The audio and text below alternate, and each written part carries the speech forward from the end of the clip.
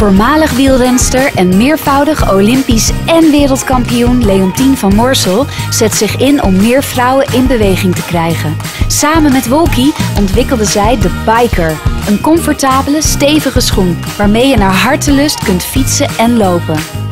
Van elke verkochte schoen gaat bovendien een deel van het aankoopbedrag naar de Leontien Foundation. Deze stichting zet zich in voor jongeren met een eetstoornis.